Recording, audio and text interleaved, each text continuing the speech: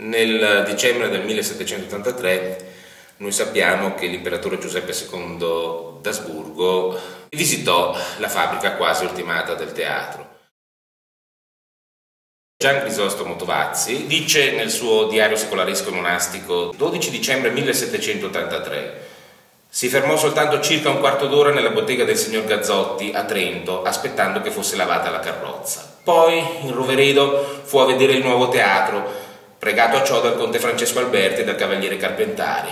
Vedutolo, chiese quanto costasse ed essendogli stato risposto che costava 18.000 fiorini, disse che avevano fatto una spesa superflua e la disapprovò con altre caricate espressioni giuste.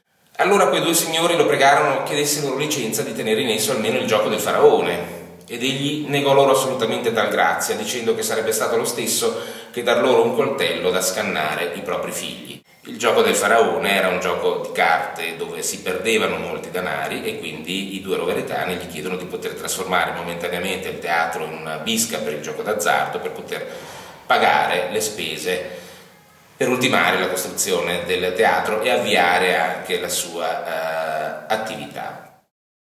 Giuseppe II rimontò nella carrozza e, mentre alla posta fu fatta la mutazione dei cavalli, stette nella medesima carrozza. Passato Marco, scese per leggere un'iscrizione fatta su un sasso ed allora il postiglione, roveretano, ginocchiatosegli davanti, si azzardò di dirgli che invece di andare a vedere il teatro avrebbe fatto meglio andando a vedere la banca del pane, essendo picciolo il pane che si fa a Roveredo. Arrivato a Ala, vi pervennero anche i due signori roveretani suddetti, chiesero udienza, ma fu loro negata, e fece dire agli stessi che in avvenire sarà egli il soprastante al teatro, il che vuol dire il sovrintendente.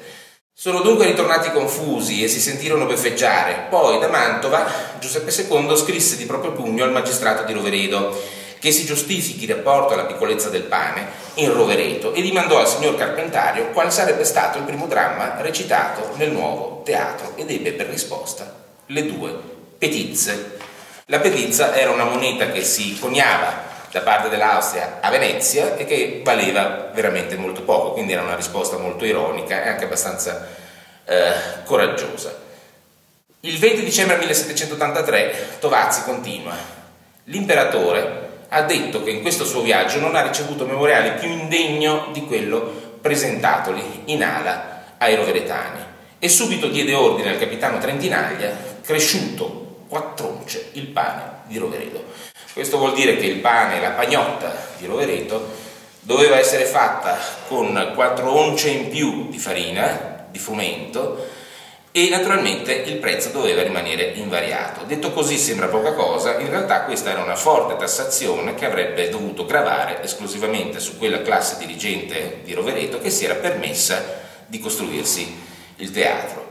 E forse proprio per questo motivo il teatro rimase privo di una facciata fino al 1870.